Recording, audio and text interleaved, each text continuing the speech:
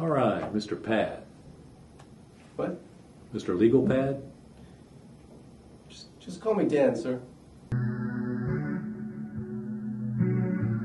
You're just. Sellout. Giant pushover with nothing to show for life. Is there any way I can just be purely potential?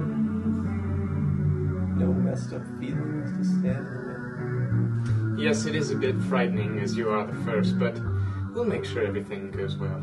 Look, there's there's been some trouble. You need to come to the lab right away.